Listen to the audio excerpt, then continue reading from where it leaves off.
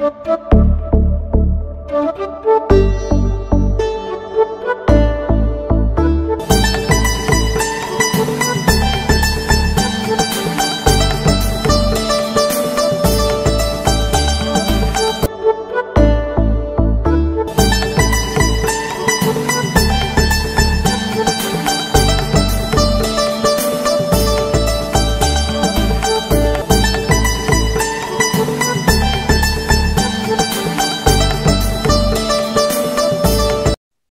பார்க்க போற தலைப்பு வந்து பாதிப்பின் பாரம் அதாவது மனசு எவ்வளவு பாதிப்பாகுது அந்த பாதிப்பு எப்படி நமக்கு பாரமா மாறுது அந்த பாரத்தை வந்து நம்ம இந்த ஐயாவோட அண்டர்ஸ்டாண்டிங்ல எப்படி நம்ம புரிஞ்சு அந்த பாரத்தை இறக்கி வைக்கிறோம் அப்படின்றத நம்ம பார்க்க போறோம் இத பத்தின உங்களோட கருத்துக்கள் நீங்க ஐயா கிட்ட வந்து யூடியூப்ல ஐயாவோட கிளாஸஸ் பார்த்திருக்கலாம் இல்ல ஞான முகாம்ல அட்டன் பண்ணியிருக்கலாம்.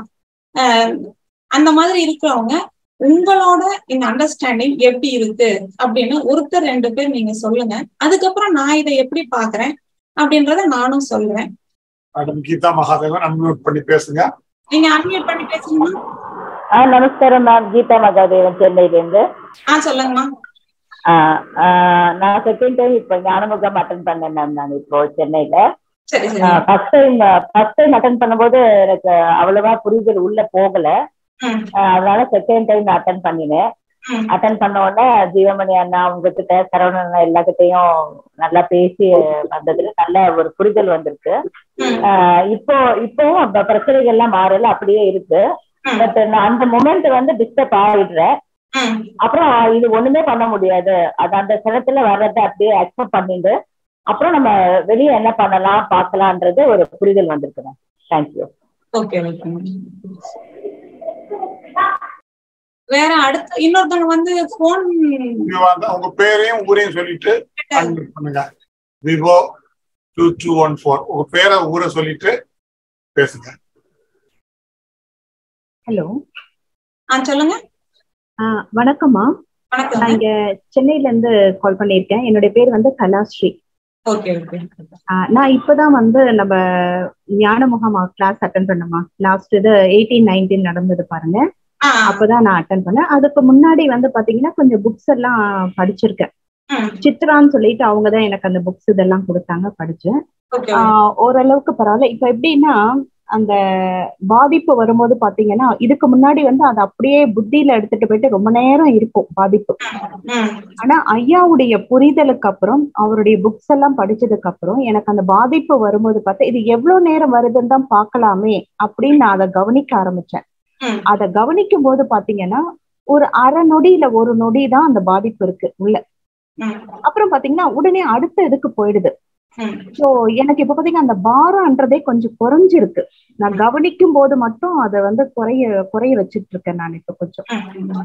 அது எனக்கு ரொம்ப யூஸ்ஃபுல்லா இருக்கு. ஐயாவுடைய இது பாத்தீங்கன்னா கொஞ்சம் படிச்சேன். ஏன்னா இப்பதான் பண்ணியிருக்கேன். ஆஹ் இன்னும் இப்ப இந்த அடுத்த கிளாஸ் ஏப்ரல் அங்க நடக்கிறதுன்னு சொன்னாங்க சேலத்துல. ஸோ அதையும் கொஞ்சம் பார்த்துட்டு எனக்கு ரொம்ப இந்த ஒரு கிளாஸ் அட்டன் பண்ணதுலயே எனக்கு ஏதோ ஒரு தெளிவு வந்த மாதிரியே இருக்கு. அந்த பாரம் வந்து குறைஞ்ச மாதிரி இருக்கு இப்போ. அது ரொம்ப ஐயாவுக்கு சந்தோஷம். எனக்கு அவருக்கு தான் நன்றியை சொல்லணும். அதுதான். அது முழுசா எங்களுக்கு வரணும்னா நாங்க அதை எப்படி இது பண்றது? இன்னும் புரிதல் நிறைய நாங்க எடுத்துக்கணுமா? எப்படின்றதும் தெரியல. அஹ் இப்ப நான் சொல்றேன். பாருங்க. அப்புறம் மறுபடியும் நம்ம முடிச்சதுக்கு அப்புறம் மறுபடியும் நீங்க கேள்வி கேட்டுக்க நம்ம பேசிக்கலாம். ஓகேம்மா நன்றிம்மா நன்றி ஆ வணக்கம் மேடம் நான் சுந்தரபாண்டியன் ஓசூர்ல இருந்து பேசுறேன். சொல்லுங்க சார் மேடம் நான் வந்து ஞானமுகாம் அட்டன் பண்ணிருக்கேன். குற்றாலத்துல இருந்து ஃபர்ஸ்ட் ஞானமுகாம் சாரி கொஞ்சம் டிஸ்டர்பன்ஸா இருக்கு. குற்றாலத்துல தான் முகம் முதல் நான் ஞானமுகாம் அட்டன் பண்ணி இப்ப நம்ம இதுல ஒரு ஆறு ஏழு மாசமா இருக்கேன். ஸோ இதுக்கு முன்னாடிலாம் அந்த ஒரு மேடம் சொன்ன மாதிரி உடனே நம்ம வந்து ஏதாவது ஒரு ஒரு பிரச்சனை வந்ததுன்னா ரொம்ப நேரம் நம்ம மைண்டுக்குள்ள அது ஓடிட்டே இருக்க மாதிரி இருக்கும். ஸோ இப்போ வந்து பார்த்தோம் அப்படின்னா அது வந்து அந்த மாதிரி இல்ல இல்ல இருக்கிறது இல்ல. குயிக்கா ரொம்ப குயிக்கா வெளியே போயிடுது நமக்கு. முன்னாடி சின்ன பிரச்சனை கூட கொஞ்சம் பெருசா இருக்க மாதிரி ஒரு ஃபீலிங் இருக்கும். இப்ப எல்லாம் அந்த மாதிரி எதுவும் இருக்கிறது இல்லை. கண்டிப்பா புரிதல் உள்ள வந்துருச்சா இல்லையா அப்படின்லாம் தெரியல. பட் உள்ள ஏதோ நடக்குது அப்படின்றது மட்டும் நல்லா தெரியுது நன்றி மேம்.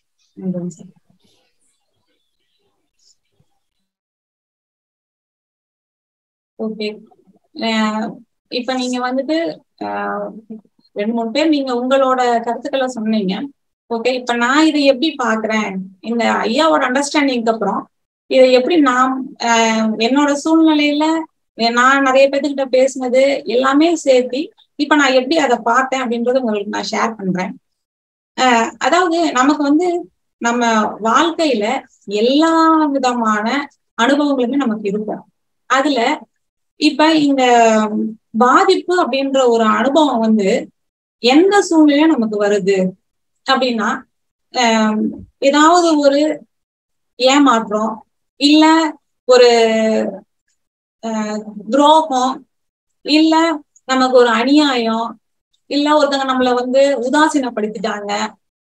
ஆஹ் இப்படி ஏதாவது வகையில நம்மள வந்து அவங்க ஆஹ் ஒரு அசிங்கமா அசிங்கப்படுத்துறது ஒரு அந்த மாதிரி நம்மள வந்து ஆஹ் ரொம்ப ஆஹ் அந்த சூழ்நிலையில இந்த மாதிரி மன பாதிப்பாகுது அந்த பாதிப்பு வந்து நமக்கு எப்படியாப்பட்ட ஒரு பாதிப்பா இருக்கு?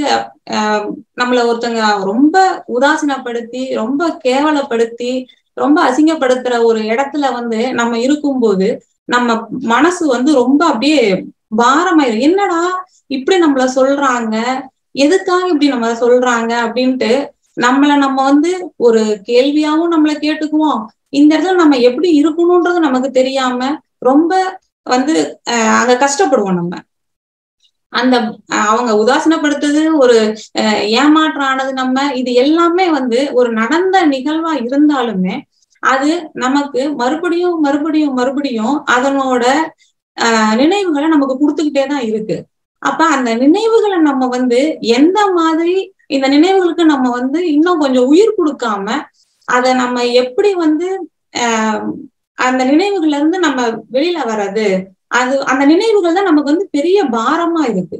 அந்த பாரத்தை நாம எப்படி வந்து இங்க இறக்கி வைக்கிறது அப்படின்றதுக்கு தான் நம்ம இப்ப இதை பாக்குறோம் ஆஹ் நம்மள ஒருத்தங்க அப்படி ஆஹ் தப்பு சொல்றாங்க இல்ல நம்மள குறை சொல்றாங்க ஒரு ஏமாற்றமா நம்மள பாக்குறாங்க அப்படிங்கிற விஷயமே நமக்கு ரொம்ப ஒரு மனசுல வந்து என்னடா இப்படி நம்மள பண்ணிட்டாங்க இப்படி சொல்லிட்டாங்கன்னு அதையே நினைச்சு நினைச்சு நினைச்சு நம்ம எந்த வேலையுமே ஒரு அந்த வேலையை நம்ம கரெக்டா ப்ராப்பரா செஞ்சே முடிக்க முடியாது.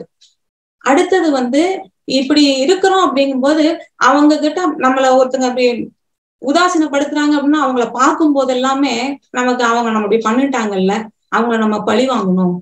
அப்படி அவங்கள பழி வாங்கினாதான் நமக்கு மனசு ஆறும். அப்படின்ற மாதிரி இந்த பழி வாங்குதல் அப்புறம் நம்ம வந்து அப்படி அவங்க சொன்னப்ப நாம ஏன் இப்படி இருந்தோம் அப்படின்ற ஒரு குற்ற உணர்வு அப்புறம் நமக்கு எந்த வேலையை செய்யறதுக்குமே ஒரு எரிச்சலா இருக்கும். அவங்க ஒரு சூழ்நிலை நம்ம வேலை செஞ்சிட்டு இருப்போம். அந்த வேலை செய்யற இடத்துல வந்துட்டு ஏதோ ஒரு சூழ்நிலையினால அவங்க சொன்ன வார்த்தையோ இல்ல அவங்கள பார்க்க வேண்டிய சூழ்நிலையோ என் எப்படி இருந்தாலுமே அந்த சூழ்நிலைய வந்து நம்ம ஹேண்டில் பண்றது ரொம்ப அப்படியே அவ்வளோ கஷ்டமாவும் அவ்வளோ எரிச்சலாவும் இந்த இடத்த விட்டு நம்ம போயிட்டா பரவாயில்ல அப்படின்ற மாதிரி அவ்வளோ ஃபீல் பண்ணுவோம் நம்ம. அந்த அது எல்லாமே வந்து நமக்கு அவங்க சொன்ன ஒரு வார்த்தை தான் அவங்க செஞ்ச நமக்கு ஒரு நமக்கு செஞ்ச ஒரு கெடுதல் தான். இது எல்லாமே முடிஞ்சு போனதுதான் ஆனா அத நம்ம வந்து ஏதோ ஒரு வகையில நமக்கு நம்ம வேலை செஞ்சுட்டு இருக்கும் போது கூட அது வந்து நம்ம நினைவுகளா நமக்கு எடுத்து காமிச்சிட்டே தான் இருக்கு. அப்ப நாம அந்த நினைவுகளுக்கு வந்து எதுக்குமே நம்ம முக்கியத்துவம் கொடுக்காம அது எப்படி வேணாலும் வந்துட்டு போகட்டும் என்ன வேணாலும் வரட்டும். இப்ப நம்ம அதை யோசனை பண்றதுனால நமக்கு இங்க வேலையும் நம்மளால செய்ய முடியல. யாருக்கிட்டையும் நம்ம ஒரு அன்பாவும் ஒரு அரவணைச்சு போற தன்மையும் எதுவுமே இல்லாம ஒரு தனியா யார்கிட்ட பேசுறதுக்கும் நமக்கு பிடிக்க மாட்டேங்குது. என்ன சொன்னாலும் வந்து எனக்கு கஷ்டமா இருக்கு. நான் இப்படிதான் இருப்பேன். என்னால வந்து நான் பட்ட கஷ்டம் நான் எனக்கு இருக்கிற வேதனை எனக்கு மட்டும்தான் தெரியும். இது வந்து அதனால நான் யாருக்கிட்டையும் அந்த மாதிரி மறுபடியும் ஒரு அவமானத்தையோ ஒரு ஏமாற்றத்தையோ என்னால பார்க்க முடியாது. அதனால நான் இனிமேல் தனிமை என்ன நான் தனிமைப்படுத்திக்கிறேன் அப்படின்னு இப்படி எல்லாருமே நம்ம வந்து இவ்வளவு நாள் இந்த மனதோட இயக்கத்தை புரிஞ்சிக்காம இருந்த வரையிலும் ரொம்ப போராடிக்கிட்டே இருந்தோம்.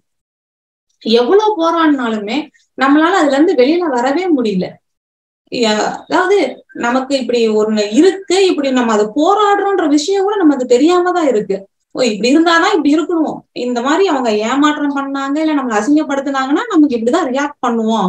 இப்படிதான் இருக்கும் அப்படின்ற விஷயம் இருக்கணும் அப்படின்னு நம்ம வந்து அதை ஒரு உண்மையா அப்படி ஒரு விஷயத்த கட்டு அப்படின்னு நம்ம வச்சுட்டு இருந்தோம். ஆனா இப்ப நம்ம இந்த ஞான புரிதல் அப்படின்ற இந்த மனதோட இயக்கத்தை நம்ம தெரிஞ்சதுக்கு அப்புறம் அங்க நடந்த விஷயம் அவங்க ஒரு ஏமாற்றமோ இல்ல நம்மளை அவமானப்படுத்தினதோ எதுவோ இருந்துட்டு போகட்டும்.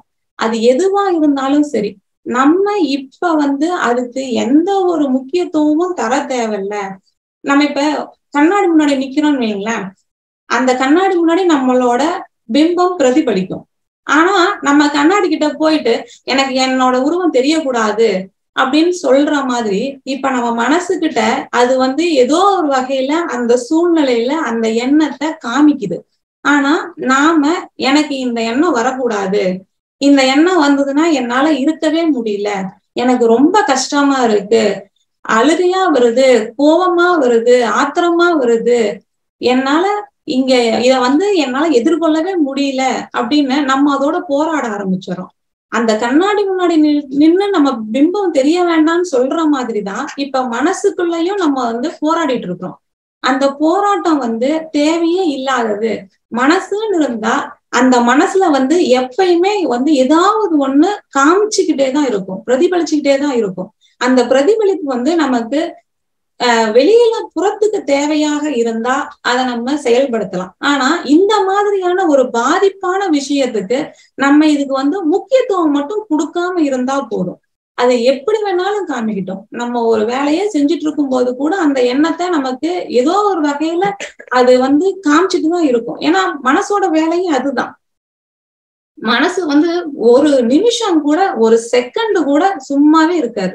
ஏதாவது ஒண்ணு காமிச்சுக்கிட்டே தான் இருக்கும். அப்படி காமிச்சிட்டே இருக்கிற மனசுல வந்து நாம எதுக்காக வந்து இப்படி இத காமிக்க கூடாது இத செய்யக்கூடாது இது எனக்கு வரக்கூடாது நான் இவ்வளவு சிரமப்படக்கூடாது அப்படின்னு அந்த மனசு கிட்ட ஒவ்வொன்றுக்கும் நம்ம பதில் கொடுத்து பதில் கொடுத்து அதுல நம்ம இன்னமும் வந்து அந்த பிரச்சனைய பெருசு பண்ணிக்கிட்டே தான் இருக்கும். நம்ம எங்கேயுமே இதுக்கு நம்ம வந்து முக்கியத்துவமே தரவே தேவையில்லை.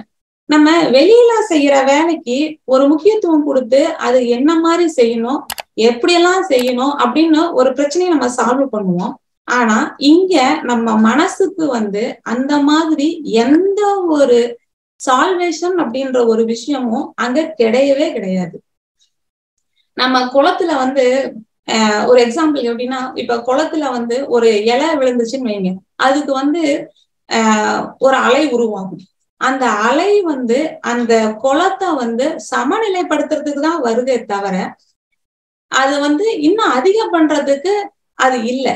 அதனால நமக்கு வர்ற எண்ணங்கள் எல்லாமே அது சமநிலை ஆயிக்கிட்டு தான் போகுமே தவிர நம்ம போய் அந்த இலையை உளுந்தனால குளத்தை வந்து ஆஹ் அலை வருது நான் போய் சரி பண்றேன்னு போற வேலைதான். இந்த நினைவுகள் வரும்போது நம்ம அதை போய் இது எனக்கு வரக்கூடாது இது எப்படி வரலாம் அப்படின்னு நம்ம அதோட போராடிட்டே இருக்கோம் அப்படி போராட போராடதான் அந்த விஷயம் நமக்கு அப்படி பாரமா ஆயிருது என்னடா இது வாழ்க்கை நமக்கு?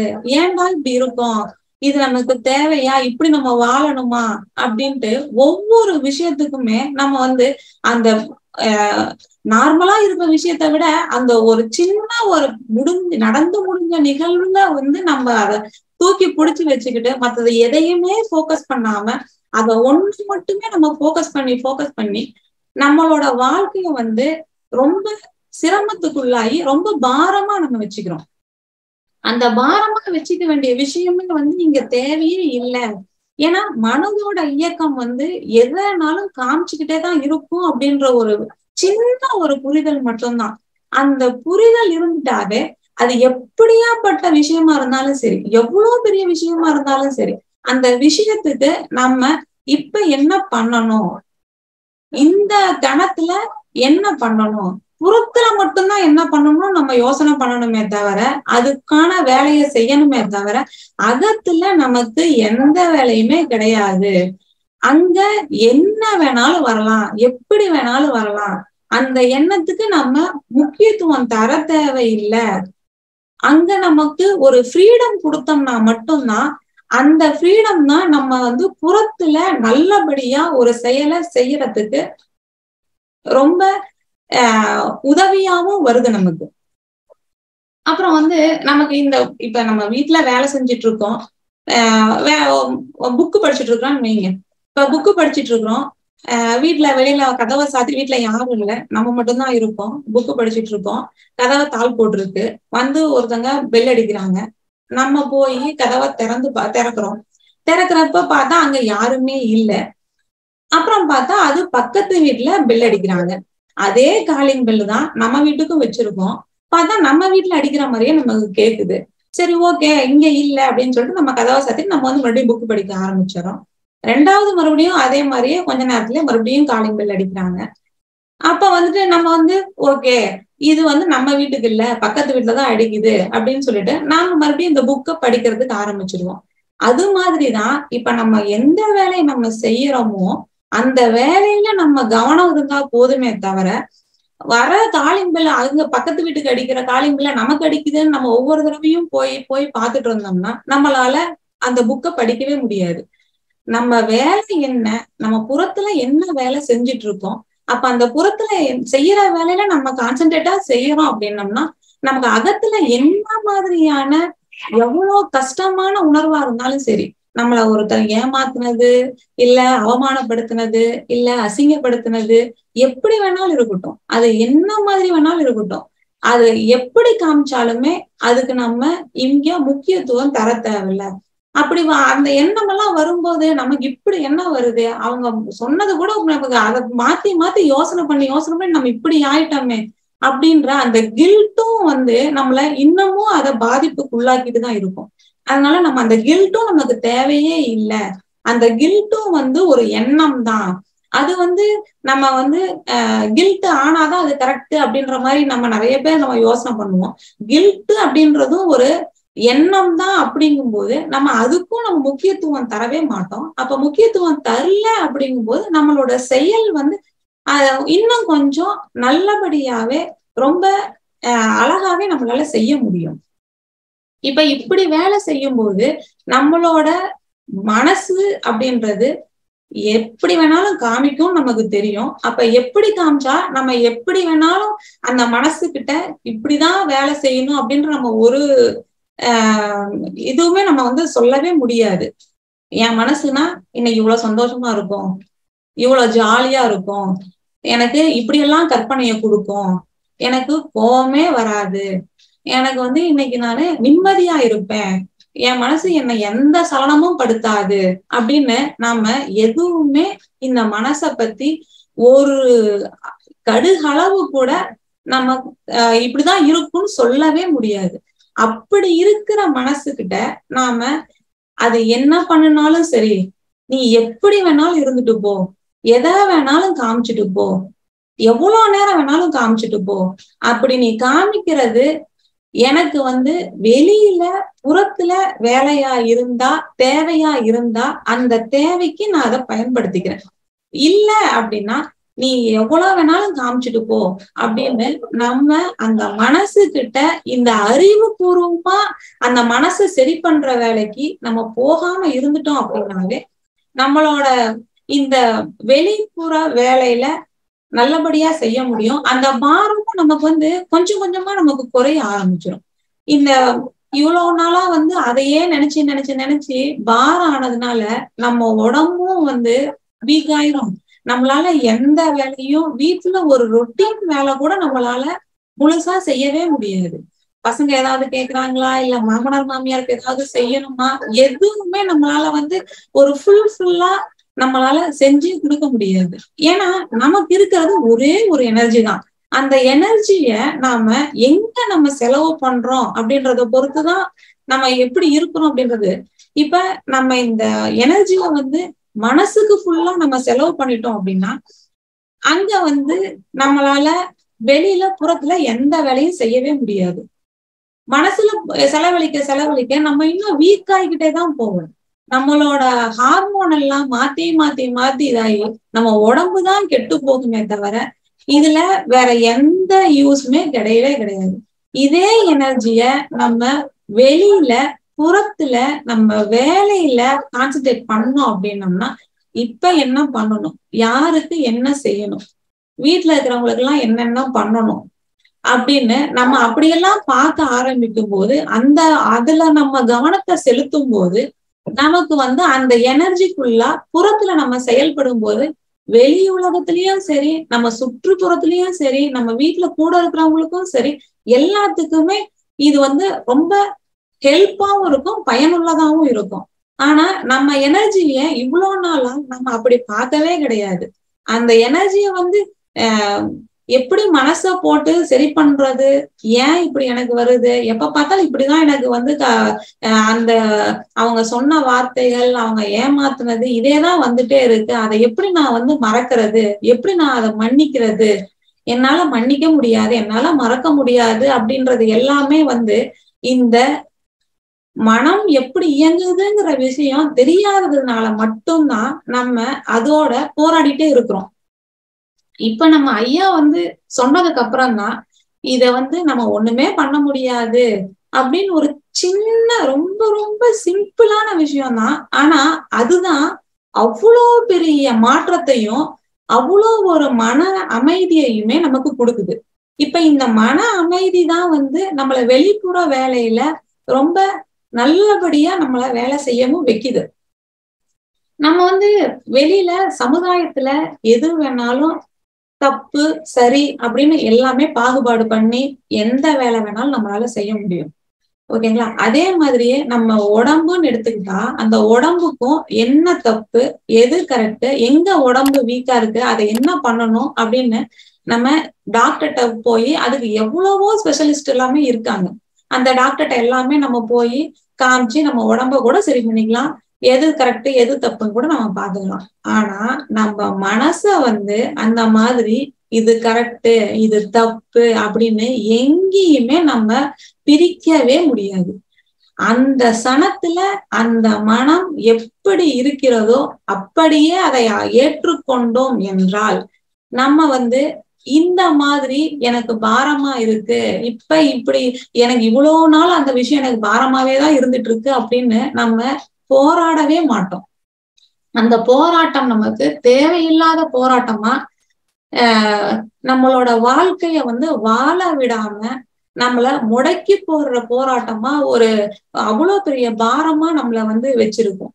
அதனால நாம இந்த ஆஹ் போராட்டம் அப்படின்ற இந்த பாரத்தை வந்து நம்ம வந்து சுமக்கவே வேண்டாம்.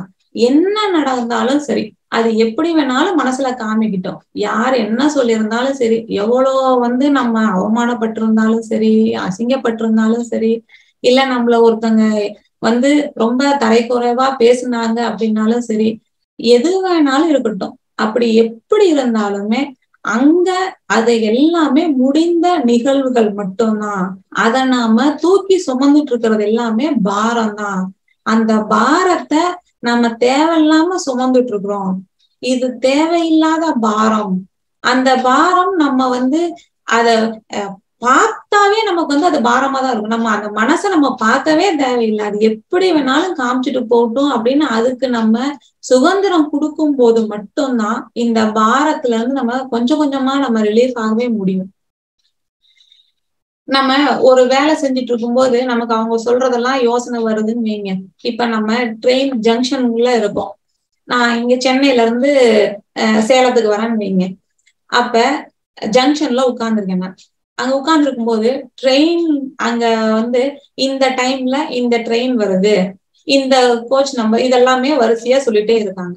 நமக்கு வந்து அந்த சொல்றதுல எந்த ட்ரெயின்னு நமக்கு தேவையான ட்ரெயின் அப்படின்னு பார்த்து அதுல போய் நம்ம ஏறி உட்காந்துரும் உட்கார்ந்ததுக்கு அப்புறமும் மறுபடியும் வந்து அங்க அனௌன்ஸ்மெண்ட் வந்துகிட்டே தான் இருக்கும். அடுத்த ட்ரெயினுக்கு அதுக்கு முன்னாடி எல்லாமே மாத்தி மாத்தி மாத்தி அனௌன்ஸ்மெண்ட் வந்துகிட்டே தான் இருக்கும். நாம வந்து எதுக்கு நம்ம தான் வந்து உட்கார்ந்துட்டோம்ல இன்னும் அனௌன்ஸ்மெண்ட் சொல்லிட்டே இருக்கணுமா அப்படின்னு நம்ம அதை எதையுமே சொல்லவே போறதில்லை. அது மாதிரிதான் நம்ம மனசும் ஏதாவது ஒண்ணு சொல்லிக்கிட்டு காமிச்சுக்கிட்டே தான் இருக்கும். நம்ம என்ன வேலை செய்யறோம் அந்த வேலைக்கு அது தேவையா அப்படின்னு பார்த்துட்டு நம்ம அதுல இருந்து அதுக்கு ஹெல்ப்புக்கு எடுத்தா போதுமே தவிர மத்தபடி நீ எதுவுமே சொல்லக்கூடாது. எனக்கு இப்படி எல்லாம் இருக்கவே கூடாது. எனக்கு இப்படி இருக்கிறது தான் வந்து ரொம்ப கஷ்டமா இருக்கு அப்படின்னு நம்ம அதையே போக்கஸ் பண்ணிக்கிட்டே இருந்தோம்னா அதுதான் நமக்கு வந்து பாரத்தையே கொடுக்குது. நம்ம அந்த போக்கஸ மட்டும் அந்த பார்வைய மட்டும் நம்ம விட்டுட்டா போதும். நம்ம வெளி வேலையில மட்டும் கொஞ்சம் கவனத்தை செலுத்தினோம்னா போதும். இது வந்து இப்படி நம்ம பிரிச்சு முதல்ல உள்ள பாக்காதீங்க வெளிய பாருங்கன்னு சொல்றதே நம்ம ஸ்ரீ பகவத் ஐயா மட்டும்தான் இந்த விஷயத்தையே நமக்கு சொல்லியிருக்காங்க. அப்படி இவ்வளவு நாள் நமக்கு வந்து இதை யாருமே இது மாதிரி பிரிச்சு பார்த்து இப்படி பாருங்க அப்படின்னு சொல்லவே கிடையாது. இந்த பிரிச்சு பாக்குற ஒரே ஒரு சின்ன ஒரு விஷயம்னா நம்மளோட வாழ்க்கையவே டோட்டலா மாத்தி அமைக்குது. அந்த ஒரு சின்ன அண்டர்ஸ்டாண்டிங் மட்டும்தான் ரொம்ப நம்ம வந்து அமைதியாவும் ஆனந்தமாவும் இந்த வாழ்க்கைய வாழ வைக்குது. அதனால நம்ம இந்த மனதோட இயக்கம் எவ்வளவு பெரிய அளப்பெரிய ஆற்றல் கொண்டது அத வந்து நம்ம ரொம்ப பாரமா நினைச்சு நினைச்சு நினைச்சு ரொம்ப சிரமப்பட்டுக்கிட்டு கஷ்டப்பட்டுக்கிட்டு அத நினைச்சு நினைச்சு போராடிட்டு இருக்க தேவையில்லை. அந்த போராட்டம் எல்லாமே தேவையில்லாத போராட்டமா இருக்கு அப்படின்ற ஒரே ஒரு சின்ன விஷயத்த மட்டும் நம்ம புரிஞ்சுக்கிட்டோம்னா நமக்கு அந்த பாரம் அப்படின்ற விஷயமே காணாம போயிடும் அந்த பாரம் இல்லை அப்படிங்கும் போது நம்மளோட நம்ம மனசை பார்க்கவே மாட்டோம் அப்ப. எனக்கு பாரமா இருந்தா அப்ப அந்த மனசை நம்ம பார்க்கவே மாட்டோம். மனசை பார்க்கல நமக்கு என்ன வேலைங்க? வெளியிலதான் நமக்கு வேலை. அப்ப நம்ம அந்த வெளியில எப்படி வேலை செய்யணும் அப்படின்றத நம்ம அங்க வந்து ஃபுல்ஃபில்லா நம்ம ஃபோக்கஸ் பண்ண முடியும். அப்ப ஃபுல்ஃபில்லா ஃபோக்கஸ் பண்ணும்போது அங்க எல்லாமே ரொம்ப சூப்பராகவும் அழகாவும் வந்துடும் இந்த ஆஹ் மனதோட இயக்கத்தை நம்ம பாதிப்புல இருந்து அத பாரமா எடுத்துக்காம நம்ம வந்து அதை புரிஞ்சு நம்ம வெளியில மட்டும் ஃபோக்கஸ் பண்ணா போதும். மனசுக்கு எந்த ஃபோக்கஸும் பண்ண தேவையில்லைன்ற விஷயத்த நம்ம தெரிஞ்சுக்கிட்டு நம்ம வாழ்க்கையில வந்து ரொம்ப நிம்மதியாவும் ஒரு சந்தோஷமாவும் வாழலாம். இது வந்து நான் என்னோட இதா சொல்றேன் நானு. இதுல இருந்து உங்களுக்கு ஏதாவது கேள்விகள் எதுவா இருந்தாலும் நீங்க கேளுங்க. நாம பேசிக்கலாம். ஹாய் மேடம் ஹாய் நல்லா இருக்கீங்களா? நல்லா இருக்காங்க. நீங்க தேங்க்யூ மேடம் நல்லா இருக்கேன் madam thank you thank you for the beautiful speech madam என்ன சொல்லணும்னா மைண்டே இல்லாம இருந்தா நல்லா இருக்கும் மேடம் நிறைய சொல்றீங்க. எல்லாம் ரைட் தான் மேடம் மாற்று கருத்தே இல்ல. ஆனா இது இல்லாமலே இருந்திருந்தா இவ்வளவு தேவையில்ல மாதிரி இருக்கும் மேடம் இல்ல மேடம் மைண்ட் இல்லைன்னா you you will just you just go on நம்மளுக்கு வந்து உணர்ச்சி வேணாம் உணர்வு தானே வேணும். இப்ப மைண்ட் இருக்கிறனாலதான் மேடம் அதை வந்து யூஸ் பண்றதுக்கான ட்ரிக் அந்த ஹேண்டிலிங் ப்ராசஸ் எல்லாம் நம்மளுக்கு தேவைப்படுது. இந்த தாட் வர்றது கூட பிரச்சனை இல்லை. அது வரும்போது நம்மளுக்கு தெரியுது பாருங்க அதுல இருந்து தான் பிரச்சனை ஆரம்பிக்குது. நம்ம தாட் இல்லாம நம்மளால வாழ முடியாது இல்லைங்களா? ஓகே சொல்லுங்க. ஏன் மேடம் வாழ முடியாதுன்னு சொல்றீங்க? பிகாஸ் அது வந்து ரிசைக்கிள் தானே மேடம் பண்ணுது. சோ விச் எவர் தாட் அது வர்றது வந்து நம்மளுக்கு வேண்டாந்த தாட் தானே முக்கவாசி. இப்ப நீங்க தாட் வந்து வராம இருந்துட்டா பரவாயில்ல நீங்க சொல்றீங்க. தாட் வெளியில எங்கேயாவது போகணும் அப்படின்னா கூட உங்களுக்கு எதுல எப்படி போலாம்னு ஒரு ஐடியா ஒரு தாட் வந்தாதான் நீங்க அது பண்ணவே முடியும். அது வந்து தாட் அதுதான் தாட் ஐ மீன் ரெண்டுமே வரும்னு சொல்றீங்களா மேடம் இட்ஸ் எனக்கு எனக்கு அதான் சொல்றேன். நான் நார்மலி பாக்குறது என்னன்னா இப்ப பயப்பட்டா அது வந்து ஃபியூச்சரை பத்தின பயம் வருது. சரி. ஓகே நம்ம கவலைப்படுறது துக்கப்படுறது இதெல்லாம் வந்து நடந்து முடிஞ்ச தாட்ஸோட வருது. சோ இன் பிட்வீன்ல இந்த ஐடியாஸ் தாட் வந்து எங்கேருந்து வருது? அதுவும் சேம் பிளேஸ்ல இருந்து தான் வருதா? ஆமா. எல்லாமே வந்து மனசுல இருந்து தான் உங்களுக்கு வரும். ஓகேங்களா இப்ப நம்ம வந்து இப்ப உங்களுக்கு பாஸ்ட்ல இருந்து வருது அப்படின்றீங்கல்ல அத வந்து பாக்கணும் அப்படின்ற விஷயம் வந்து இங்க தாட் அண்ட் திங்கிங்ன்ற ரெண்டா பிரிச்சிங்கனாவே உங்களுக்கு இது புரிஞ்சிடும் அந்த சப்ஜெக்ட் தெரியுங்களா? தாட் அண்ட் திங்கிங் உங்களுக்கு தெரியுங்களா? ஆமா மேடம் எஸ் எஸ் இப்ப நமக்கு வந்து பாஸ்ட் அப்படின்னாவே அது முடிஞ்சு போன விஷயம் இல்லைங்களா? ஓகே அப்ப அந்த முடிஞ்சு போன விஷயத்த நம்ம பண்ண முடியாதுன்றதுதான் நமக்கு தெரியும்ல. ஏன்னா இப்ப முடிஞ்சது எல்லாமே முடிஞ்சதுதான். இப்ப ஒரு செகண்ட் அப்படின்னாலுமே அது முடிஞ்சது முடிஞ்சதுதான். ஒருத்தங்க நமக்கு கனவுல நமக்கு தூங்குறோம். நமக்கு கனவு வருது. அந்த கனவு நம்ம ஏதாவது தூங்கி முழிச்சிட்டோம்னு வைங்க. தூங்கிட்டு இருக்கும்போது பயங்கரமா ஒரு கனவு வருது. அப்படியே திக்குன்னு எந்திரிச்சு உட்காருறீங்க உட்கார்ந்தோடனே ஓகே எல்லாம் வேர் தூத்துது. அப்புறமேட்டு பார்த்தா அப்பாடா இது கனவா? அப்படின்னு உங்களுக்கு தோணுது. இப்ப அந்த கனவுல போய் எனக்கு இப்படி எல்லாம் கனவு வரக்கூடாது. இந்த கனவு வந்தா எனக்கு பயமா இருக்கு. நீங்க போய் மறுபடியும் அந்த கனவுல ஏதாவது பண்ண முடியுமா? இல்ல மேடம் முடியாது. அது மாதிரிதான். அது எல்லாமே முடிஞ்சு போன நிகழ்வுகள் தான். முடிஞ்சு போன நம்ம அதை வந்து மறுபடியும் நமக்கு அந்த மெமரியில காமிக்கணும். ஏன்னா மனசோட வேலை அதுதானே. நம்ம எதுனாலும் அது உள்ள இருக்கிறத காமிக்கிறது தான் அதோட வேலை. நம்ம வந்து ஓகே "Okay, இப்ப அது முடிஞ்சு போனதை காமிக்கிற நீ எனக்கு ஒண்ணும் வேலை இல்ல. உன் வேலையை நீ செய். நம்ம அறிவுபூர்வமா அதை பாக்குறது தான் இங்க பிரச்சனையே. நம்ம. அறிவுபூர்வமா அதை பார்க்காம விட்டுட்டோம்னாவே அது போய்கிட்டே தான் இருக்கும். அது ஆறு மாதிரி போய்கிட்டே தான் இருக்கும். ஒரு செகண்ட் கூட அது நிக்கவே நிக்காது. நம்ம அறிவை கொண்டு இது நமக்கு வந்துருச்சே ஐயோ இது வரக்கூடாது இல்ல இது முடிஞ்சு போச்சு இல்ல ஏன் இப்படி இருக்குது? அப்படின்னு நம்ம அதை பிடிச்சு வச்சுக்கிட்டு அதுக்கு நம்ம கேள்வி கேட்டுக்கிட்டு அது காமிக்கிறதுக்கு எல்லாமே நம்ம பதில் சொல்லிட்டு உட்காந்துட்டே இருக்கோம். அப்ப அது நம்ம போகும். நம்ம கேள்வியும் கேட்க தேவையில்ல அது எப்படி வேணாலும் காமிக்கட்டும். ஏன்னா அதோட வேலை அதுதான் அப்படிங்கும் போது அதை காமிக்கும் போது நமக்கு வெளியில அதனால வேலை இருந்தா ஓகே செய்யலாம். இல்ல அப்படின்னா நமக்கு அதை பத்தி தேவையில்லை அப்படின்ட்டு விட்டுறலாம். ஓகே மேடம் மேடம் இன்னொன்னு கேட்கணும். இஸ் கிரைங் குட் இத பத்தி யாருமே சொன்னதே இல்ல. அழுகுறோம்ல ஒரு சில தாட்ஸ்னால ஒரு சில சிந்தனைகள்னால. சோ இது எந்த அளவுக்கு மேடம் இந்த புரிதலுக்குள்ள வருது? பிகாஸ் இத பத்தி யாரும் சொல்லறது இல்லைன்னு நான் நினைக்கிறேன். ஏ- ஏதாவது நீங்க அழுறது கரெக்டா தப்பான்னு கேக்குறீங்களா எப்படி கேக்குறீங்க? அதான் கேக்குறேன் madam is there a way also to நம்ம ரிலீஃப் ரிலீஸ் பண்ணிக்கிறோமா. இல்ல ஓகேயா அழுகுறது ஓகேயா அதாவது அது அழுகுறதுன்றது நம்மளை விட்டு ஏதோ ஒரு வகையில அது கொஞ்சம் ரிலீஃப் ஆகும் தான் அது ஆகாமலாம் அது ஓகே எந்த அளவுக்கு நம்மளால வந்து அத இப்ப ஒரு அளவுக்கு தெரிஞ்சதுக்கு அப்புறம் நம்ம வந்து சரி போ போதும் போ அழுது மட்டும் என்ன ஆக போகுது? இப்ப எப்படி நமக்கு தாட் வந்து நம்ம ஒரு வேலையை செஞ்சுட்டு இருக்கும்போது டக்குன்னு அந்த தாட்ல நம்ம வந்து சரி இத போய் நினைச்சிட்டு இருக்கிறோமே. அதுல இருந்து வெளியே வர்றோமோ அதே மாதிரி அழுகும் போதும் நமக்கு வந்து சரி இதுக்கு மேல அழுது மட்டும் என்ன ஆக போகுது அப்படின்னு நமக்கு கணத்துல தெரிய ஆரம்பிக்கும் இல்லைங்களா? அப்ப நீங்க வந்து ஓகே அப்படின்னு எந்திரிச்சு அழுகை நிறுத்திட்டா போதுமே தவிர நீங்க அதுலயே கண்டினியூவா இருந்துட்டே இருக்கணும்ன்ற அவசியமும் கிடையாது. அதே டைம்ல அதை வந்து ரொம்ப நம்ம அளவே கூடாது அப்படின்னு ரொம்ப ஸ்ட்ரிக்டா பிடிவாதமா இருக்கணும் அப்படின்ற விஷயமும் அங்க கிடையாது நமக்கு. Because I am a cry baby madam I can easily cry so அதுதான் கொஞ்சம் ஈஸியா வருது. ஆனா இது வரைக்கும் அதை பத்தி புரிதல்ல சொன்னதே இல்ல. கிரைங் பத்தி யாரும் சொன்னதே இல்லாத மாதிரி இருக்கு எனக்கு. ஆனா என்கிட்ட நீங்க நல்ல கேள்வி கேட்டிருக்கீங்க. இதே பிரச்சனை எதுனாலும். ஆமா மேடம் பெரும் பிரச்சனையா இருந்தது. சின்ன சொன்னாலும் முதல்ல அப்படியே ஏன்னா நான் தான் தப் உடனே என்ன நான் வந்து குற்றம் கண்டுபிடிச்சு நம்மள இப்படி சொல்றாங்களே நான் உடனே அழுக வந்து அத நான் போராடி போராடி அது வேலைக்கே ஆகல.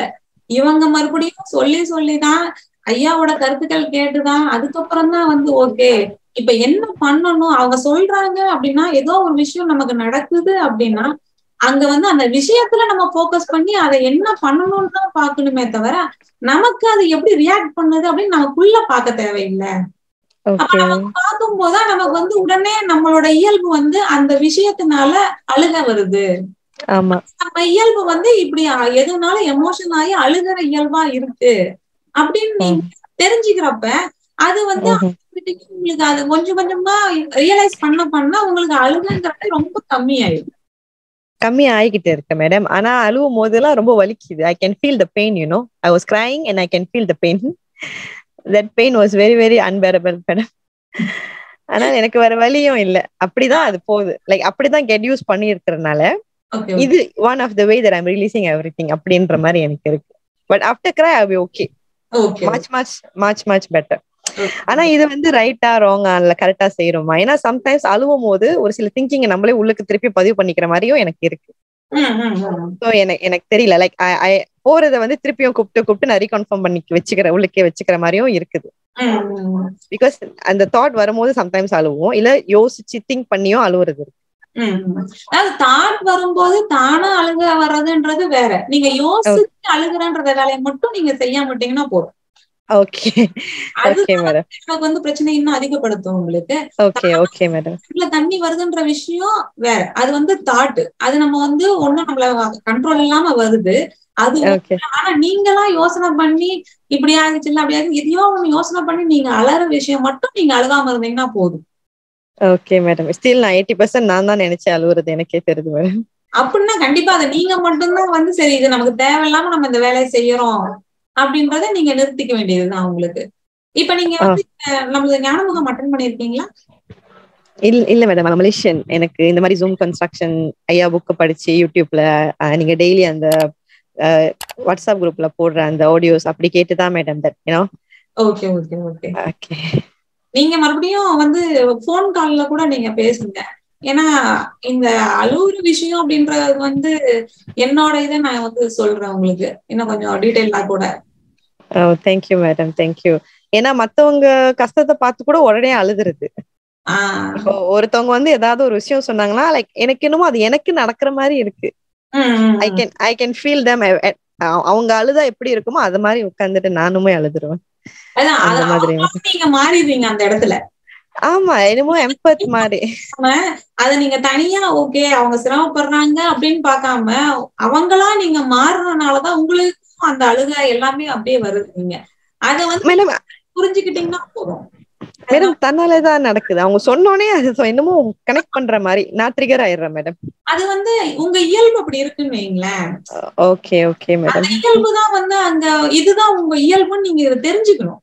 அது நமக்கு இயல்பு இதுன்றது நமக்கு தெரியல. இப்ப நம்ம வந்து ஓகே ஒருத்தங்க அப்படி சொல்றாங்க அப்படின்னா நமக்கு வந்து உடனே இப்படி ஆகுது அப்படிங்கும்போது நம்மளோட இயல்பு வந்து அடுத்தவங்க ஏதாவது ஒண்ணு சொன்னாங்கன்னா கஷ்டப்படுறாங்க அப்படின்னா நமக்கும் அது ரொம்ப ஃபீல் ஆகுது அப்படின்ற விஷயத்த நம்ம தெரிஞ்சுக்கிறோம். அப்ப நீங்க தெரிஞ்சுக்க தெரிஞ்சுக்க அங்க வந்து அவங்க அப்படி சொல்லும் போது மத்தவங்க எல்லாம் இது மாதிரி மறுபடியும் சொல்ல சொல்ல நீங்க கொஞ்சம் பார்க்க ஆரம்பிப்பீங்க. ஓகே இது அவங்க பிரச்சனையை சொல்றாங்க.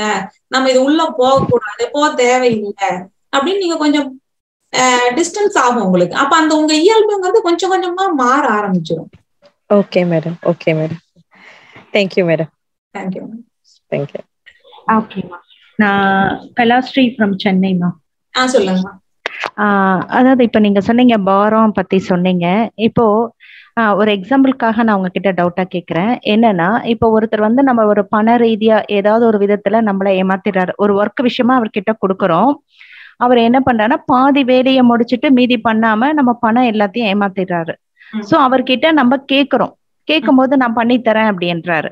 அப்புறம் பாத்தீங்கன்னா நம்மளாலயும் அவரை அதட்டி கேட்க முடியல நம்மளால. ஃபோர்ஸ் பண்ணி கேட்க முடியல.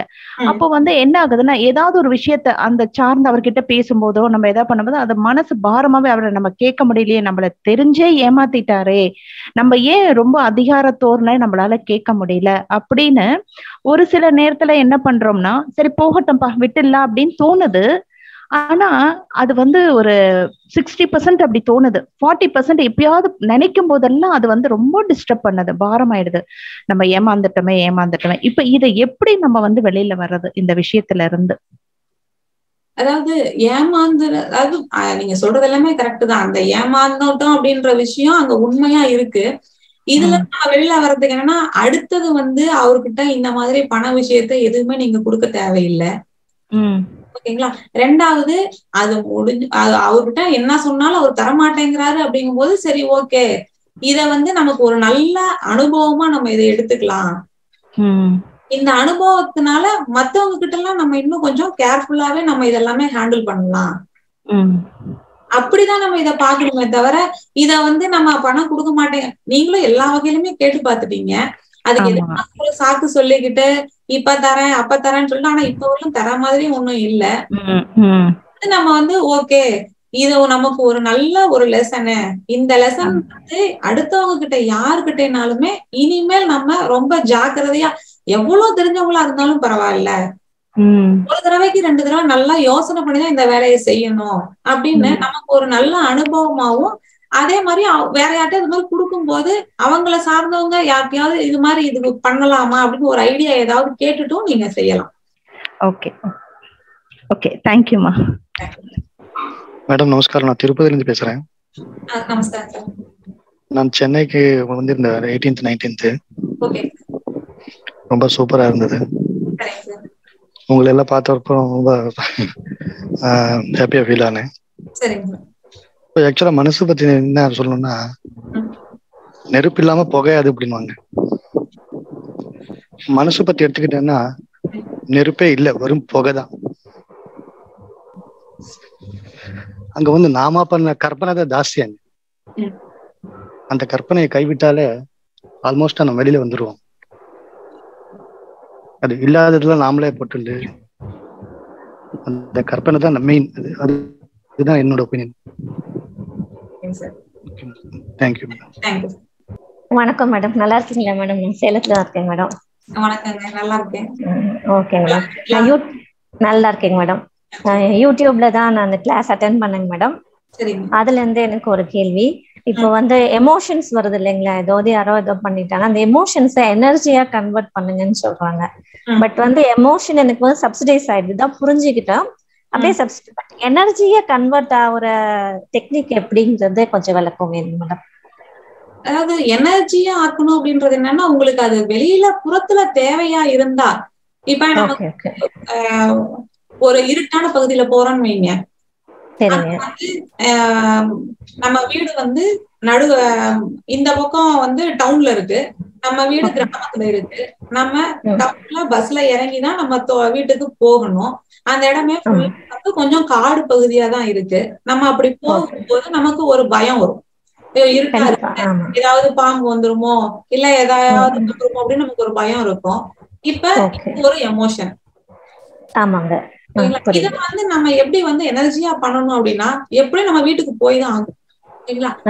எனர்ஜி ஆக்குறது எப்படின்னா நம்ம அப்ப வந்து இத வந்து ஒரு டார்ச் லைட் எடுத்துட்டு போலாம் வந்து போன்ல வந்து டார்ச் நம்ம போட்டுக்கலாம். வெளிச்சத்துல நம்ம வந்து போறதுக்கு அது வந்து அந்த எனர்ஜியை வந்து அந்த பயத்தை வந்து இப்படி நம்ம வந்து எனர்ஜியா நம்ம பண்றதுன்றது இந்த மாதிரி தான் நம்ம பண்ணணும். ஓகே ஒரு விழிப்பா இருக்கணும்ன்றது. அது ஓகே ஓகே மேடம் புரியுது. தேங்க்யூ மேடம் ஆஹ் நல்ல நல்ல ப்ரோக்ராம் அருமையா போகுது. நான் நீ என்னோட கேள்வி முதலே அந்த கேள்வி எனக்கு முன்னாடியே ஒருத்தர் கேட்டாங்க. கரெக்டா எண்ணங்கள் வருது? நீங்க சொல்றதுல எனக்கு என்ன புரியுதுன்னா ஆத்துல போற தண்ணி வேடிக்கை பாரு உள்ள இறங்காதேங்கிற மாதிரி. கரெக்ட் நான் உன் வேலையை மட்டும் செய்யி. ஆத்துல போற தண்ணி போகட்டும் அப்படிங்கிற மாதிரி.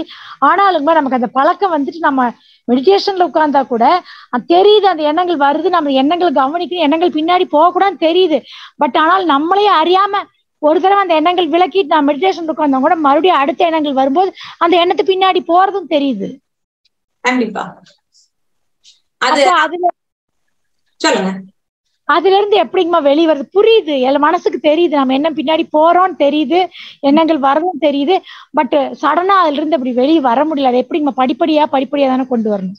இல்ல படிப்படியா கொண்டு வரணும். இப்ப நீங்க வந்து இது ஞான முகாம் ஒண்ணு அட்டன் பண்ணீங்கன்னா உங்களுக்கு இது நாம என்ன சொல்றோம் அப்படின்ற மொத்த இதுவுமே உங்களுக்கு புரிய ஆரம்பிச்சிடும் வைங்களேன். இன்னைக்குதான் நீங்க ஜூம் மீட்டிங் அட்டன் பண்ணிருக்கேன்னு சொல்றீங்க. ஆமாங்கம்மா. அப்ப வந்து ஒரு நாள்ல நம்ம வந்து இப்ப ஒரு இப்ப உடனே உங்களுக்கு வந்து சொல்லி புரிய வைக்கிறதுன்றதை விட நீங்க ஞான முகாம் அட்டன் பண்றது இல்லைன்னா நம்ம யூடியூப் சேனல்ல எல்லாமே இருக்கு உங்களுக்கு. அது எல்லாமே நீங்க கொஞ்சம் பார்த்தீங்கன்னாலும் உங்களுக்கு கொஞ்சம் புரிய ஆரம்பிக்கும் வைங்களேன். அதாவது எண்ணம் வந்து மனசு வந்து எண்ணத்தை காமிக்கிறது தான் மனசோட வேலையேம்மா. ஓகேங்களா? அந்த எண்ணம் வந்து நமக்கு இது வரக்கூடாது இது வரணும் அப்படின்னு நம்ம வந்து அறிவுபூர்வமா அந்த எண்ணத்துல போய் நம்ம கை வைக்கிறது தான் இங்க நம்ம பிரச்சனையே. இப்ப நீங்க சொல்றீங்கல்ல இந்த எண்ணத்துக்கு பின்னாடி நான் போறேன் நான் போகாம இருக்கணும் அப்படின்னு சொல்றீங்கல்ல. ஆமாங்கம்மா. அந்த மாதிரி போகாம இருக்கணும்ன்ற நம்ம முடிவு பண்றது அறிவு தான் உம் அந்த அங்க வந்து நம்ம அந்த மாதிரி முடிவே பண்ண தேவையில்ல. நீ எப்படி வேணாலும் எண்ணத்தை காமிச்சுக்கோ அப்படின்னு சொல்லி அதுக்கு ஒரு சுதந்திரம் கொடுக்கறது தான் இங்க நம்மளோட வேலையா இருக்கு. அப்படி நீங்க அதுக்கு சுதந்திரம் கொடுக்கும்போது எந்த எண்ணம் வந்தாலும் அது வந்துட்டு போகட்டும். நமக்கு வேலை வெளியில மட்டும்தான். மனச வந்து நம்ம ஒரு நிலையில வச்சுக்கணும் நம்ம போராடுறதா நீங்க தியானம் பண்றதாகட்டும் இல்ல எண்ணம் வர வேணாம்னு நினைக்கிறதாகட்டும் எல்லாமே உங்களுக்கு அந்த மனசை வந்து நம்ம ஒரு நிலையில நம்ம வச்சுக்கவே முடியாது அப்படின்றத நம்ம இங்க புரிஞ்சுக்க வேண்டிய விஷயம். கரெக்ட் கரெக்ட் தாங்க கரெக்ட் தான். அது. நம்ம செய்யற வேலையில ஃபுல் போக்கஸா வேலையை மட்டும் கவனி மத்தது எதுக்கும் முக்கியத்துவம் கொடுக்காம இருந்தா அப்ப நமக்கு அப்படி இருந்தா நிம்மதியா தாங்கம்மா இருக்கு. நம்ம எப்ப இந்த தியானத்துக்குள்ள போய் அந்த எண்ணங்களை அப்பதான் நமக்கு அந்த நிம்மதியே போகுதுன்னு எனக்கோட தோணுது. கண்டிப்பா. ஏன்னா நம்ம வந்து ஒரு அங்க தேவையே இல்லாத இடத்துல போய் வேலை செய்ய போறோம். இப்ப வெளியில வேலை செய்யறீங்க அந்த வேலை உங்களுக்கு நல்லா இருக்கு கரெக்டா இருக்குங்கிறீங்க. இப்ப உள்ள அங்க வேலையே தேவையில்லை. எந்த வேலையுமே அங்க தேவையில்லை. நான் ஆனா தேவையில்லாத இடத்துல போய் வேலை செஞ்சோம்னா அங்க கஷ்டம் ஆகுமா ஆகாதா? குளறுபடி குளறுபடி ஆகுமா ஆகாதா? கண்டிப்பா கண்டிப்பா கண்டிப்பா. நல்லா போய் சமையல் கட்டுல பக்கா வேலை பார்த்துட்டு இருக்கிறீங்க நான் எனக்கு எதுவுமே சமையலை பத்தி தெரியவே தெரியாது. நான் வந்து இது இப்படி வச்சிருக்கீங்க அதை அப்படி வச்சிருக்கீங்க அப்படின்னு சொல்லிட்டு எதையாவது ஒண்ணு உங்ககிட்ட வந்து குறுக்கு குறுக்க எதையாவது ஒண்ணு பண்ணிட்டே இருந்தேன்னா உங்களுக்கு டென்ஷன் ஆகுமா ஆகாதா? கண்டிப்பா கண்டிப்பா. அந்த மாதிரிதான் மனசுல வந்து அது எப்படி வேணாலும் இருக்கும். நம்ம உள்ள போய் அங்க குறுக்கிடாம இருந்தா மட்டுமே போதும். நம்ம வந்து மனசு அது பாட்டுக்கு இயங்கிட்டு இருக்கோம் எந்த பிரச்சனையும் நமக்கு இருக்காது. நீங்க அது மெடிடேஷன் போதே அங்க உள்ள போய் ஏதோ ஒரு வேலை செய்ய நம்ம போயிடுறோம் அப்படின்றதுதான் அங்க மீனிங் ஓகேங்கம்மா ரொம்ப நன்றிங்கம்மா. என் சேட்ல நான் என் நம்பர் போட்டு விட்டேங்கம்மா. எனக்கு வாட்ஸ்அப்ல அனுப்பிச்சு விடுங்கம்மா ஆ ஓகேங்க ஆமா ப்ரோக்ராமோட மீட்டிங் அடுத்தது எப்போ அந்த முகாம்ங்கிறதெல்லாம் இதுல வந்துருமாங்கம்மா? இப்ப வந்து ஏப்ரல்ல twenty eight twenty nine thirty இங்க சேலத்துல வந்து பகவத் மிஷன் அங்கேயே உங்களுக்கு நடக்குது. Okay okay okay okay. நீங்க எந்த ஊருங்கம்மா அம்மா நான் ஈரோடுங்கம்மா. நான் பகவதையோட நம்பர் கூட இவரோட நம்பர் கூட எங்கிட்ட இருக்கு. அவர் முன்னாடி இருந்த ஒரு எங்க மிஸ் இருந்து ஒரு தடவை பேசின அவர் பேரு என்னமோ பேர் நல்ல பேருங்க. ஞாபகம் இருக்கு மனசுக்குள்ள இருக்கு வர மாட்டேங்குது. அவரோட நம்பர் கூட இருக்கு. என்ன நம்பர் அது அவர் பேர் இருந்தாங்க நம்பர் எனக்கு சர்ச் பண்ண முடியும். மனசுக்குள்ளேயே இருக்காரு இதுல இதுல இருக்காரு முக்கியமான ஒரு இதுல பேர் இருக்காரு அவர் பேரு. இல்ல இன்னொருத்தர். சரவணனுங்களா? ஆஹ் சரவணன். Okay okay. அவர் நம்பர் இருக்கு. இது யூடியூப்ல வருமாங்கம்மா நீங்க பேசியிருக்கிறது. பகவத் பா- அத பாதம் அதுல வருங்களா இது? ஆமாங்கம்மா. அதுல வரும் உங்களுக்கு. ரொம்ப நன்றிம்மா. வாழ்க வளம் நான் வந்து இந்த நம்பர் வந்து ஆட் பண்ணிடுறோம் வாட்ஸ்அப்ல உங்களுக்கு எல்லா டீடைலும் அதுல வரும். எப்பெல்லாம் ஞான முகாம் நடத்துறோம் என்னென்ன ப்ரோக்ராம் பண்றோம் அப்படின்ற விஷயம் எல்லாமே உங்களுக்கு அப்டேட்டா வந்துட்டே இருக்கும். நீங்க அதை பார்த்து தெரிஞ்சுக்கலாம். மேல கூட ரெண்டு ஞான முகாம் வச்சிருக்கோம் நாங்க. அதனால உங்களுக்கு வந்து இப்ப ஏப்ரல் மே ரெண்டுலயுமே உங்களுக்கு இருக்கு. உங்களுக்கு எப்படி வாய்ப்பு வருதோ அப்படி வந்து நீங்க கலந்துக்கோங்க. ஒரு தடவை வரணுங்கம்மா நேர்ல வந்து முகாம் கலந்துக்கிட்டாதான் இதெல்லாம் நம்ம ஒரு பேசிக் புரியும். ஆமாங்கம்மா கண்டிப்பா. அப்படி அது நீங்க இது ஒரு தடவை நீங்க வந்துட்டீங்கன்னாவே போதும். பேசிக் மட்டும் இல்ல. ஒட்டு மொத்தமாவே நமக்கு வேலை இல்ல. நம்ம வேலை எங்கன்றது தெளிவா உங்களுக்கு தெரிஞ்சிடும் கிட்டத்தட்டங்கம்மா இப்ப நீங்க சொல்றத பார்க்கும்போது இது விபாசனா இதுவும் புத்தர் இது ரெண்டும் ஒரே ஒண்ணுல கனெக்ட் ஆகுற மாதிரி எனக்கு தோணுது. அதைத்தான் சொல்லுவாங்க அவங்க. நீங்க எண்ணத்தை வேடிக்கை பாரு நீ ரியாக்ட் பண்ணாத கூடம்பாங்க. இது ஒரு மாதிரிதான் தெரியுது எனக்கு ரெண்டும். ரியாக்ட் பண்ண வேணாம் வேடிக்கை பார்க்க வேணாம். நீ எப்படி வேணாலும் இருந்துட்டு போனா அதுக்கு சுதந்திரம் கொடுக்கறதா நம்ம சொல்றோம்.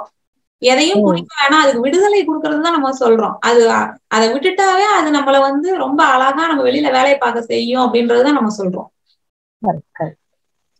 ரொம்ப நன்றிங்கம்மா. நல்லா தெளிவா புரிஞ்சதுக்குமா ரொம்ப நன்றி. வாழ்க வளமுடன்மா. நன்றிங்கம்மா வாழ்க சார் செந்தில் அப்படின்றவங்க வந்திருக்கீங்க. மேடம். சொல்லுங்க சார். மேடம் வணக்கங்க மேடம். நான் செந்தில்குமாருங்க மேடம். சொல்லுங்க. நேர்ல வந்து உங்களை பார்த்திருக்கேன். பகவத்தையா கிளாஸ் இப்ப சென்னை இது முகாம் வந்து யூடியூப்ல அட்டன் பண்ணேன். ஏப்ரல் ஏப்ரல் மாசம் திருப்பியும் அட்டன் பண்ண போறேன். மூணு நாள் கிளாஸ் அட்டன் பண்ண போறேன் மேடம் ரெஜிஸ்டர் பண்ணிட்டேன். தான் இருக்கேன். நானும் என் ஒய்ஃபும் வந்து உங்களை பார்க்க வந்தோம். ஒரு ஒரு அப்ளிகேஷன் வந்துங்க மேடம் ஒரு பதி இப்ப எனக்கு ஒரு ஐம்பத்தி மூணு வயசு ஆகுது. ஒரு பதினஞ்சு வருஷமா என்னுடைய பொருளாதார தேடல் ரொம்ப ஜாஸ்தியா இருந்துச்சு.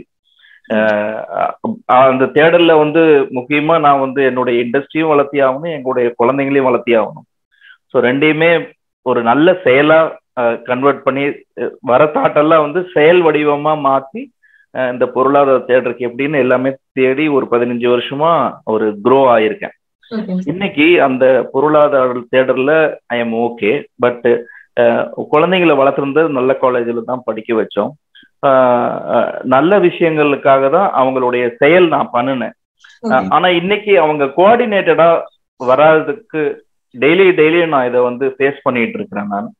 ஆஹ் இது நீங்க எவ்வளவுதான் சொன்னீங்கனாலும் தாட் திங்கிங் நல்லா புரியுது. ஆனா அந்த ப்ராப்ளம்னு வரப்ப என்னது? திருப்பி ரூம்ல போய் சாத்திக்கிட்டானே கதவு. இவங்க பாட்டுக்கு போன்லயே இருக்கிறாங்களே. இது நம்ம பண்ண முடியலன்னு இந்த காலத்துக்கு தகுந்த மாதிரி நம்ம வீட்டுக்குள்ளார அந்த நடைமுறை இல்லாதப்ப ஆஹ் ஒவ்வொரு நாளுமே நிறைய ஆஹ் பிரச்சனைகள் சந்திக்கிற மாதிரி இருக்குங்க மேடம். இது வெளியில இருந்துருச்சு வீட்டை விட்டு வெளியில இருந்துருச்சுன்னா இந்த தேடல் எனக்குமே இருக்காது. யாரோ ஒரு பர்சன் பக்கத்து வீட்டுல எப்படி ஒரு தப்பு பண்றாங்க பக்கத்து வீட்டுல காலிங் பெல் அழுத்துறாங்கன்னா எனக்கு தே- தேவையில்லை மேடம் எங்க வீட்லயே அந்த காலிங் பெல் இருக்குங்கிறப்ப அந்த காலிங் பெல்லை எப்ப ஆஃப் பண்றது எப்ப அரவணைச்சு போறது எப்ப வேண்டன்னு சொல்றது அந்த மெச்சூர்டு ஏஜ்ல பசங்க கிட்ட நம்ம மூவ் பண்றது ரொம்ப சிரமமா இருக்குங்க மேடம் அடுத்த ஃபியூச்சரிஸ்டிக் திங்கிங்கும் வாழ்க்கையில அவங்களையும் நல்லபடியா கொண்டு வந்துடணுங்கிற எண்ணத்துல ஆஹ் நாம இவ்வளவு தூரம் நம்ம கஷ்டப்பட்டு அவங்களால படிக்க வச்சிருக்கோங்கிறப்ப நம்ம பேசுறப்ப அவங்க வந்து ஆத்தென்டிகேட்டடா நினைக்கிறாங்க. நாம் பேசுறது வந்து கண்டிப்பா நீங்க பேசுறீங்க. ஆனா நாம என்ன நினைக்கிறோம்? அவங்க நல்ல வழியில வரணும் அதுக்காக தான் பேசுறோம்னு நினைக்கிறோம். வீட்ல என்ன சொல்றாங்க? பேசாமயே இருந்துருங்க. எதுக்கு வாயை மூடிட்டு இருக்க மாட்டீங்களா நீங்க வீட்லங்கிறாங்க நம்மளுக்கு வாயை மூடிட்டு இருக்கிற கேரக்டரே இல்லை மேடம். நல்ல எண்ணத்துல தான் பேசுவோம். ஏதாவது வார்த்தைகள் திரளிடுச்சுன்னா அது வந்து விபரீதமா போயிடுது அது தேடி போய் நான் வாங்குறது இல்லை. பட் திங்கிங் தாட் இருக்கிறப்ப நல்ல தாட் தான் வருது. நல்லா தான் பேசுறோம். பட் எதிர்ப்பா இருக்கிறவங்க கிட்ட வந்து அதை அவங்க வந்து எடுத்துக்கிற விதத்திலயோ இல்ல எடுத்துக்கிற வார்த்தையிலயோ இல்ல நம்மளை பத்தி ப்ரீ ஆக்குபைடு மைண்ட்ல சிலது இருக்கிறாங்க அவங்க. என் கூட பக்கத்துல இருக்கிற ஒய்ஃபா இருக்கட்டும் பையனா இருக்கட்டும் இவர் இப்படிதான் முடிவு பண்ணிடுறாங்க. பட் நான் அந்த முடிவிலேயே இல்ல. இப்ப ஃப்ளோ வித் தி வாட்டர் மாதிரி நான் ஓடிட்டு இருக்கேன். என் கூட ஜாயின் பண்ணி வர மாட்டேங்கிறாங்களே அப்படிங்கிற ஒரு ஃபேமிலிக்குள்ளாரே ஒரு விஷயங்களை வந்து ஹேண்டில் பண்றது புரியுது. பட் அந்த அந்த அப்ளிகேஷன் பாயிண்ட்ல கரெக்டா மிஸ் பண்ணிடுறேன். அது எங்கேயோ ஒண்ணு தரவு தவறுகள் நடக்குது. ரொம்ப பின் பாயிண்டா உட்காந்துட்டு நான் ரொம்ப மௌனமாவும் இருந்துட முடியல என்னால. இந்த இடத்துல இதுதான் ப்ராப்ளத்துக்கு இந்த மாதிரி தான் சொல்யூஷன் இந்த மாதிரி சொல்யூஷன் இப்படிதான் நம்ம பேசணும். நீ ஒர்க்ல இருக்கிறப்ப இந்த மாதிரி பண்ண முடியல. அந்த ஒரு செயலை நிறுத்திட்டு இந்த செயலை மட்டும் பார்க்க வேண்டியதா இருக்கு. அப்படி இருக்க முடியல வாழ்க்கையில.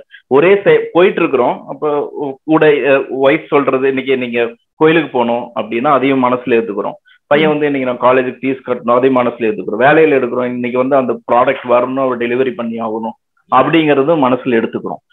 இதெல்லாம் சேர்ந்து ஓடுறப்ப நீங்க சொல்ற தாட் எல்லாம் ஓகே அது செயலா மாத்துறோம். பட் அந்த நம்ம திங்கிங்ல கன்வெர்ட் பண்ணாதனாலயோ இல்ல வந்து அதை செயலா மாத்தி கரெக்டா தான் பண்றோம்னு நினைச்சிட்டு போயிட்டு இருக்கிறப்ப இந்த இன்சிடென்ட்ஸ் நம்மளால ஹேண்டில் பண்ண முடியல அது ஜட்ஜ் பண்ண முடியல அந்த இடத்துல. என்ன சிரமமா இருக்குது? கிளாஸ்க்கு வரேன் கண்டிப்பா அட்டன் பண்றேன். அது இது ஒரு நடுவுல இருக்கிற ஒரு தீர்வு நீங்க சொன்னீங்கன்னா கொஞ்சம் நல்லா இருக்கும். தேங்க்யூ மேடம் சொல்லுங்க மேடம் சரி இப்ப என்னன்னா நீங்க வந்து ஒரு அப்பாவா இருந்து பசங்களை எப்படி பாக்கணும்னு பாக்குறீங்க? ஓகேங்களா? ரைட் ஒரு நல்லதுதான் நம்ம சொல்றோம் ஏன் கேட்க மாட்டேங்கிறாங்க அப்படின்னு நினைக்கிறீங்க?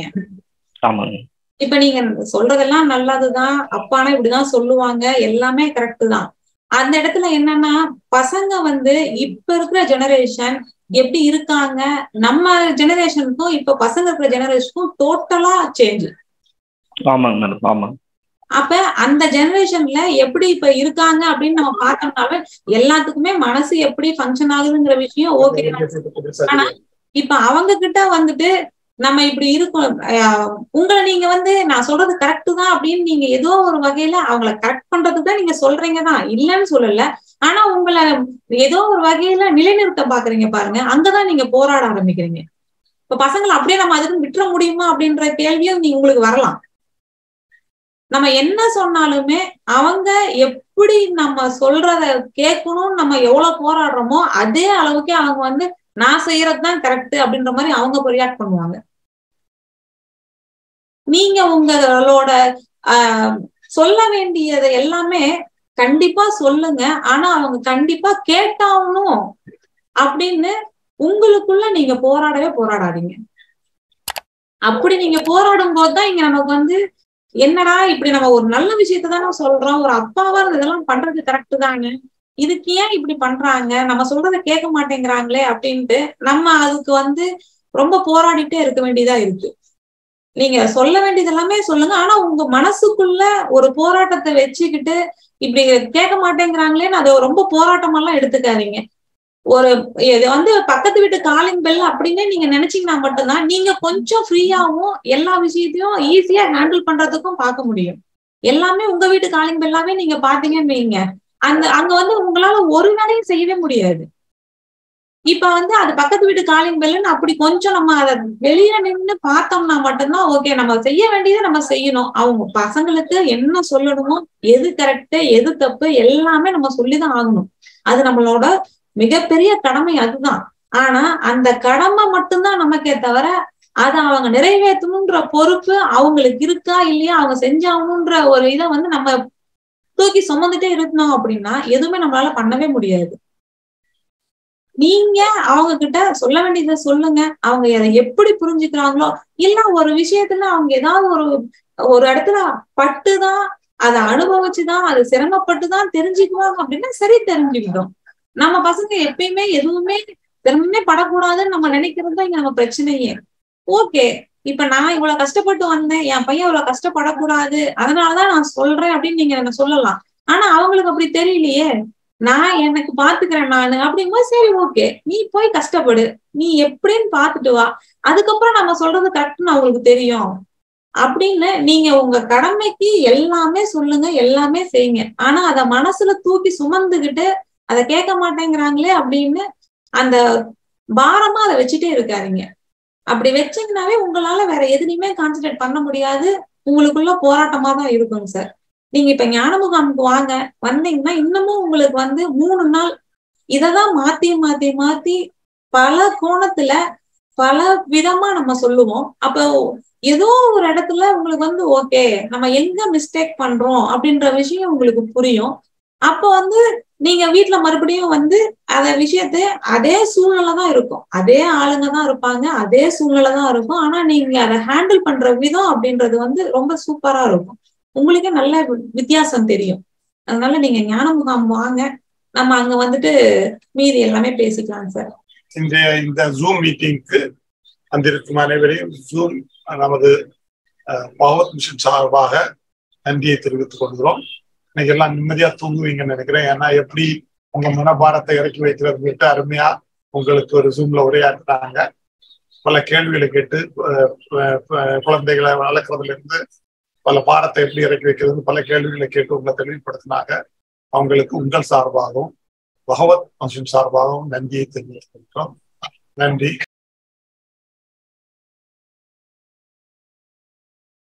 திருமதி அன்பு கரசி நன்றி வணக்கம்.